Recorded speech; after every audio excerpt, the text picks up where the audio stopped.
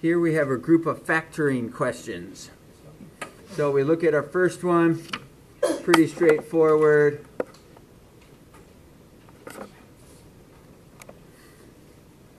Our guess and check is more than acceptable with this one since we have a value of x sitting in front. We know our first two terms. If you think of the term FOIL, that tells you how you multiply two binomials together to produce the trinomial. So the f refers to multiplying the front together. So what makes x squared? But that would be x and x. Then you need two numbers to multiply together to be 36. That's your last, the last two terms. But in the middle, you have to have the outer and inner that are going to produce the 9. So you're trying to think of two numbers that multiply to be 36 and add to be 9. And we come up with 12 and 3. If this is going to multiply to be a negative 36, then one of these has to be negative. If it's going to add to be a positive 9, the larger number has to be positive. Now we can check this answer by following through with the FOIL. x times x gives us x squared. x times 12 gives us 12x. Negative 3 times x gives us negative 3x, and negative 3 times 12 gives us negative 36. Collect our like terms, and you'll see that we have what we started with. All the factoring questions you can verify through foiling them back together. Now the second one's a little bit trickier. It has a leading coefficient other than 1. Guess and check can still work, but it definitely helps at times to have other options. If you find yourself just sitting there and not getting through the problem, then you want to come up with another method.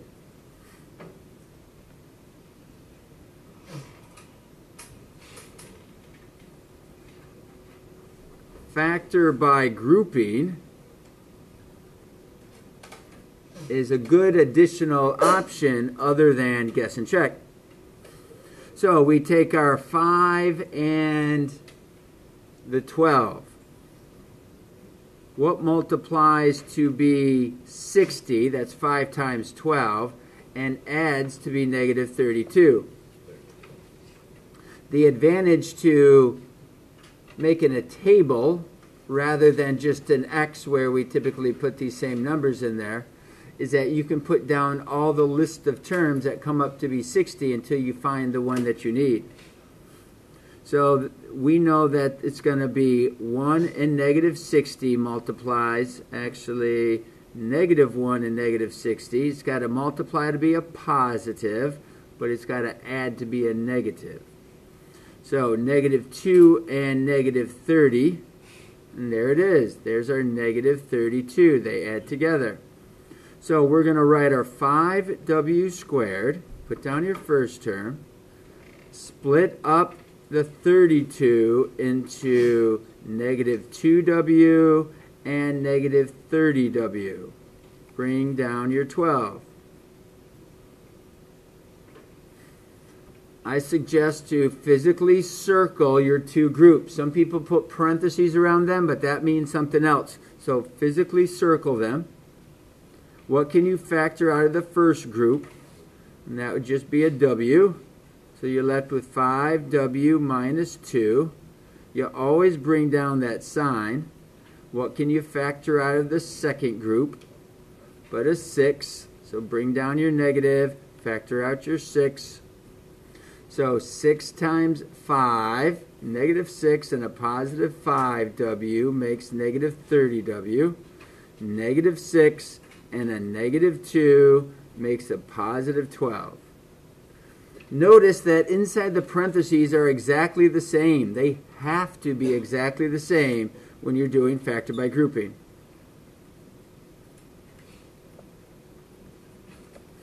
So you write down your W, and you write down the negative 6. That goes in the first set of parentheses. Then you only write your one set of parentheses again. You don't square it, that would be too many W's. So you can pause the video, go ahead and give number three a try. I'll demonstrate guess and check next with this one. Okay, we look at number three and we notice that they all have an X in it. So the first step we're going to do is called factor out the GCF, the greatest common factor. So you need to pull that X out first. Now we have this trinomial, should be factorable. Not every trinomial is factorable, but we'll see if we can make this one work. I'm going to show you or discuss and walk you through a guess and check. All right, I'll write that in here. Guess and check. The check part is what a lot of people miss on. They love to guess away and they never go back to verify if it's actually working. So we know to put our binomials together, the first two terms have to multiply together to make 2x squared. So that's going to be a 2x and an x. We need the outer and inner to produce 3, but there's a multiple ways that we could get 3. So let's come up with the last two numbers that multiply to be 9. That could be 1 and 9, that could be 3 and 3. I would always suggest to start with the ones closest to each other, like 3 and 3. A lot of times it seems to default to that. So 2 times 3, that would make 6. So that would need to be a negative 6. And when we add 3, that would be 6 and 3. That makes negative 3. Negative 6 and a positive 3 adds together to be negative 3, but when you multiply them together, 3 and negative 3, you get negative 9.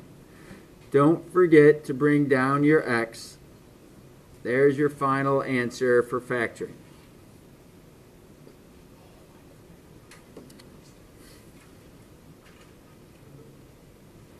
So go ahead, pause it, give this one a try.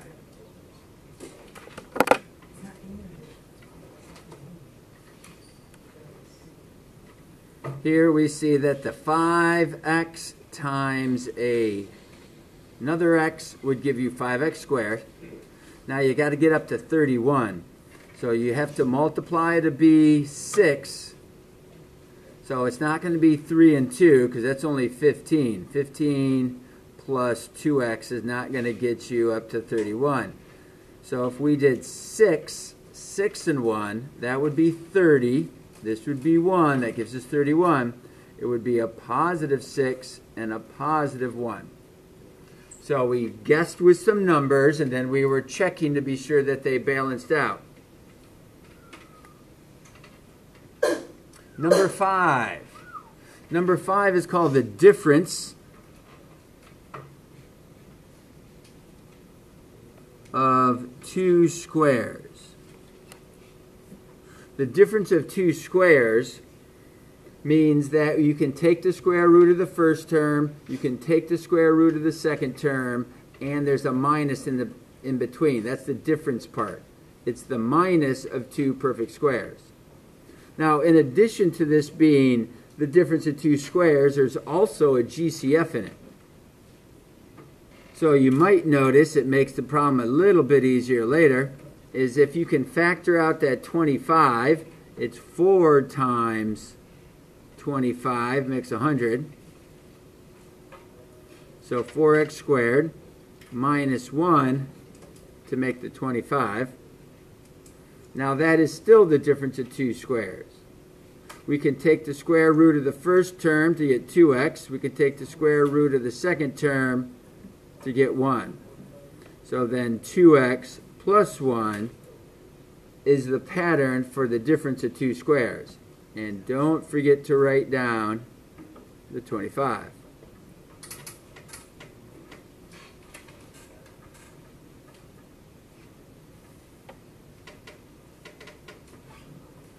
Nice straightforward one here. When the leading coefficient is a 1, it makes life a lot easier. You know that the first two terms are just x. So now you're thinking about what multiplies to be negative 56 and adds to be 1. Two numbers that are 1 apart. That would be 7 and 8. Multiplies to be 56. It needs to be a positive, so the 8's got to be larger. So the 7 is negative.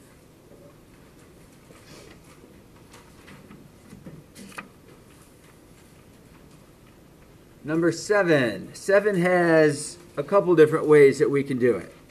Guess and check clearly would work. Factor by grouping would work, but that would be 25 times 9. That's 225.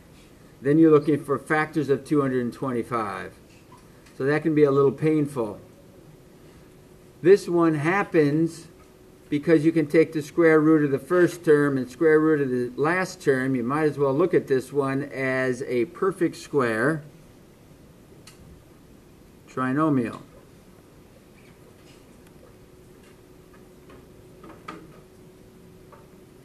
If we can get the middle term to come out to be negative 30, or at least 30, 30t, then we know for sure that this is a perfect square trinomial. So we're going to look at this as 25t squared, which is 5t, the square root of 9, which is 3. Now, the question is, is the middle term 2 times those two multiplied together? 15 times 2 is 30. That gives us 30t. So yes, it is. But what about the negative? The negative is going to be shown. Bring down your 5t minus your 3. And that's what makes it a perfect square trinomial. You're not allowed to distribute that 2 through. You would have to write out the binomials twice because you you have it squared. If you were to check this one, you would need to say 5t minus 3 and 5t minus 3. So then when you multiply through, you get negative 15t and negative 15t and positive 9. Together that makes 25t squared, negative 30t, and a positive 9. And that's what we started with.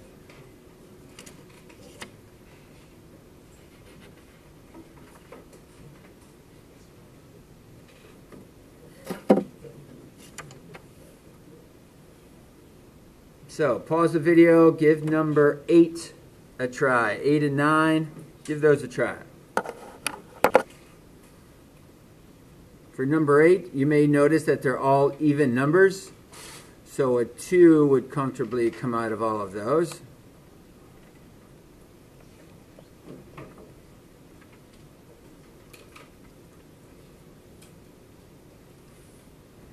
Now you, you may want to use factor by grouping to do this one. So 3 times 20, that gives you 60. That adds to be 19. We know 1 and 60, 2 and 30, 3 and 20, and 4 and 15. 4 and 15 is the one that adds to be 19. If making your table, you go in order, you don't really have to think so much. You just do the, the different multiples individually. And if you have to use a calculator, you're just taking 60 divided by 2, and 60 divided by 3, and 60 divided by 4. And then you can write down what your quotients are. So we have the 4 and the 15. So we're going to have 3r squared. Then we bring over the 4. So plus 4r plus 15r. And then we have the 20. So we wrote the 19. We broke the 19 up as 4 plus 15. Now we circle the two groups and factor out what you can. I can factor out an r out of the first group. That leaves me with a 3r plus 4. Bring down my sign, which is a plus. Factor out a 5.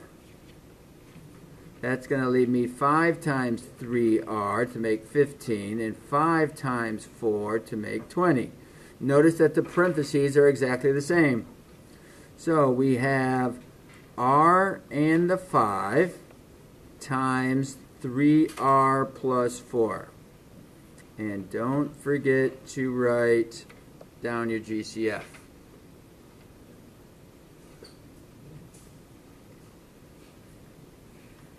For number 9,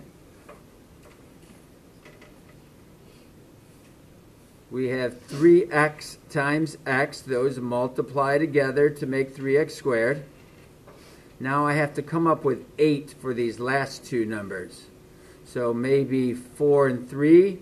3 times 4. 4 times 2, actually. 4 times 3 makes 12.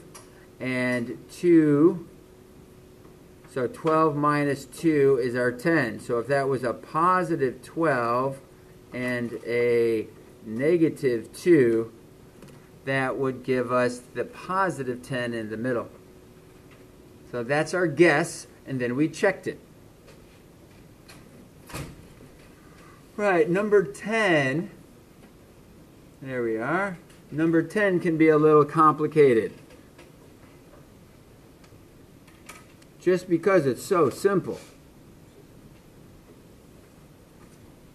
You're looking for a GCF, that's all we can do here. So a 3 goes into both of those numbers, so you can factor the 3 out. There's a P in both of those, so you can pull that out. You're left with 6P. That would give you 18. 3 times 6 is 18, and P and P is P squared. And then negative 1. You have to have the minus 1.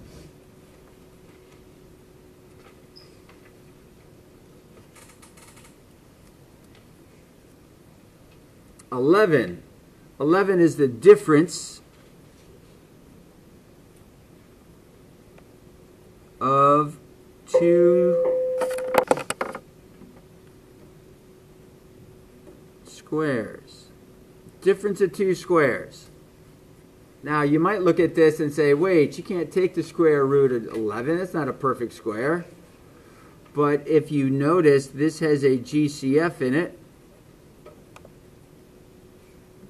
Now you're left with the difference because it's minus, and you can take the square root of q squared, you can take the square root of 4.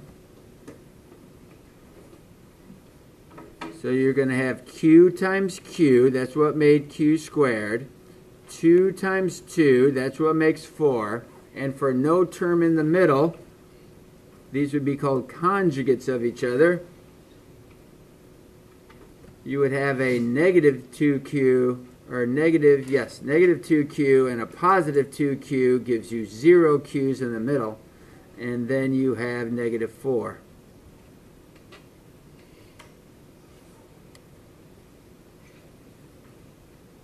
Number 12.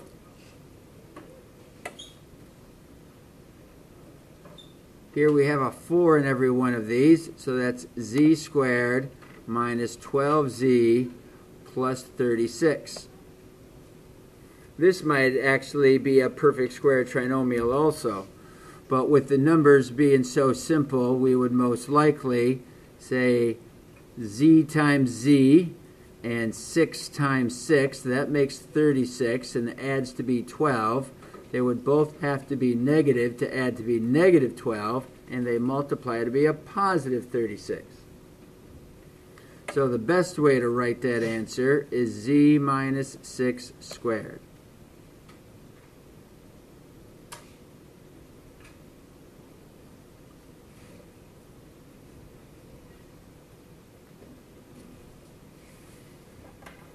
Number 13. Number 13 is also going to have a GCF in it. I notice that all these terms are divisible by 7. 7 goes into each one of those terms. And I can factor apart this trinomial, two numbers that multiply to be 5 but add to be 6, that has to be 5 and 1. It doesn't matter where you put the 5. Could be in the second parentheses if you wish. They'd both have to be positive to make 6 and then to multiply to be 5. And don't forget your 7 out in front.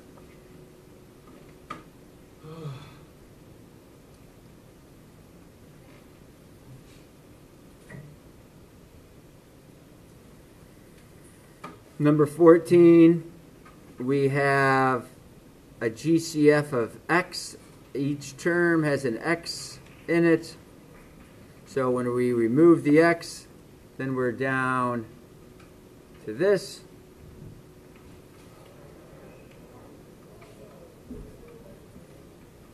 You may notice that 2x and 2x, that multiplies to be 4. 2 times 3, that's 6 but then I don't get that other two doesn't work. So I'm trying to get to uh, five. So it doesn't look like working with the twos is going to be beneficial for us because we have a three here and a two here.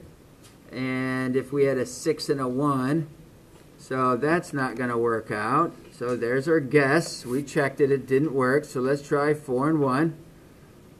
4 times 2 is 8. Oh, there it is. There's 8. And then there's 3. So 8 minus 3 is going to be a positive 8. So we would need the 2 to be a positive and a negative 3 gets us down to 5 and there's multiplying to be negative 6. So you had to work with it. You couldn't get bogged down. If that method slows you down, go, go ahead and use factor by grouping. Number 15. Number 15 has four terms in it. If you have four terms in it, you're going to circle both of those sets and you're going to try factor by grouping. So this is why we like to learn about factor by grouping because we have to use it to solve other problems. This is a cubic. There's no GCF in this one. So we can pull out an m squared that has a 3m minus 1 would be left over. Bring down your sign. Factor out your 3. 3 times m and 3 times a negative 1. Actually, remember the parentheses have to be exactly the same. They're not exactly the same. So it's 3 times 3 makes 9. 3 times 3m and 3 times 1. Now the parentheses are exactly the same, and I get m squared plus 3 and 3m minus 1.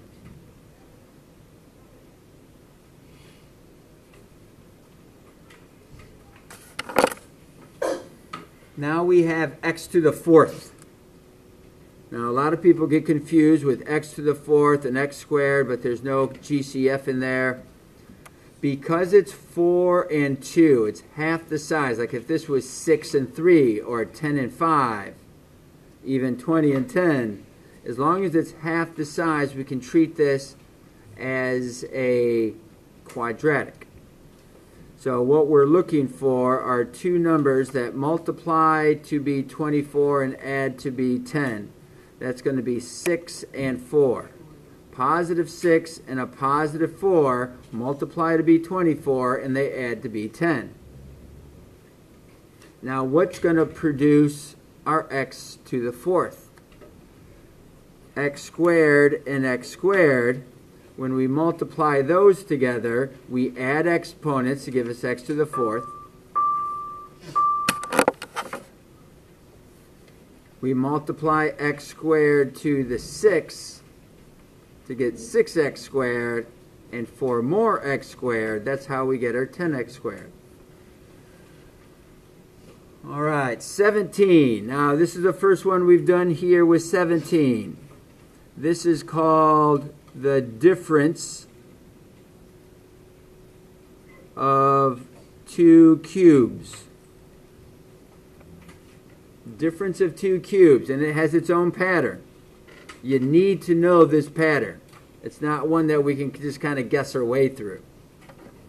So we're going to take the cubed root of w cubed. We could take the cubed root of that, that's w. We're going to take the cubed root of 27, and that's 3. That's why these is a this is the difference of two cubes because we're taking the cube root. So it's going to be w minus 3. Whatever the sign is in the problem is a sign that it's going to be there. Square your w. Multiply the two together. It's your 3w. But change the sign. Make this a positive 3w. And then negative 3 squared is a positive 9. And we can finish the last question. It's factor by grouping. That gives us an x squared, which leaves us with x and 3. Bring down your sign. Factor out a 16 actually. 16 times x, 16 times 3. So your final answer is x squared plus 16 x minus 3.